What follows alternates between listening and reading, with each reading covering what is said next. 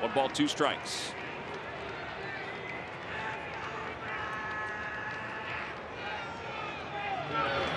Out to left field. McNeil going back. It is gone! Three-run walk-off home run for the Phils. Back-to-back nights, they win it in their final at-bat. They win it six to three, and look at this celebration. Speechless. Absolutely speechless, T-Mac. That is a fired up bunch right there. First career walk-off home run for Segura. He's our Chevrolet player of the game. The Phillies have won four consecutive ball games. They have swept out the Mets. They come from behind against one of the best closers in the game this afternoon. They score five runs in the ninth inning.